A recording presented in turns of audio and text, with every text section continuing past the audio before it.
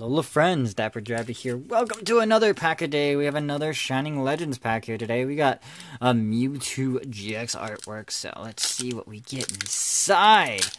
Um, trying to keep these videos constant.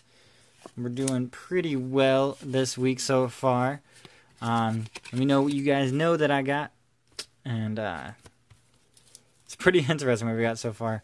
Looks like we have a lightning energy today. We have Fred the Croconaw.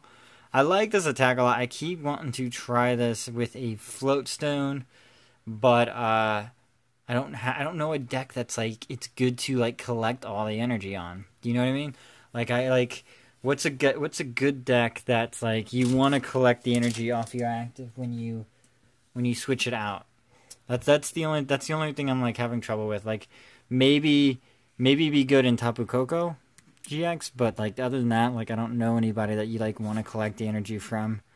So let's see what else we have. We have a Golett, Bulbasaur. I love this one. Look at that Bulba Fett right there. Look at those eyes. That's a. It won't focus. Sorry guys. Blurriness. He's just so happy. Bulbasaur is amazing. Okay. Totodile, another starter. Pikachu, another starter. How you doing? Let's switch. Carnivine. Reverse is a Breloom. And a rare Yveltal with Strafe and Oblivion Wing.